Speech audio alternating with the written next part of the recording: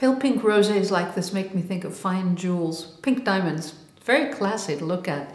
And the nose is equally elegant.